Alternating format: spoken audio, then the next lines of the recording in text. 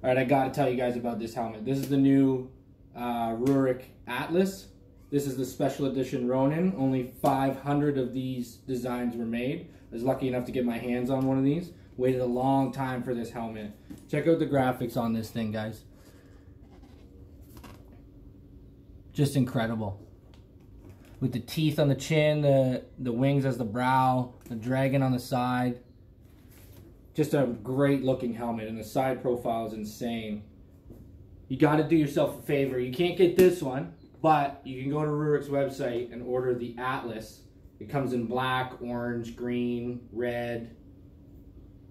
Um, do yourself a favor, guys. Go pick up one of these helmets, man. This is the lightest helmet I've ever picked up. It's fully carbon fiber. The visibility is insane. Look at the size of this visor. It's massive the visibility while you're riding is insane. Your peripherals are as natural as they can be. The visibility vertically is crazy. It's the most visibility I've ever seen on a helmet. And the look of it is just badass, man. Look at that. It's so good. I waited about five months to get my hands on one of these.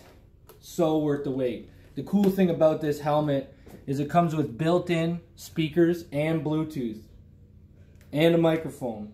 And it comes in, it's called a Shockwave. That's coming out at the end of June. It just plugs into this screw there. These two come out. It's called the Shockwave and all your controls are right there. It's fully built into the helmet. It's one of the only helmets like that. You gotta do yourselves a favor. Go grab one of these helmets. The aerodynamics are insane. I'm riding a Bolt now. I come from a sport bike background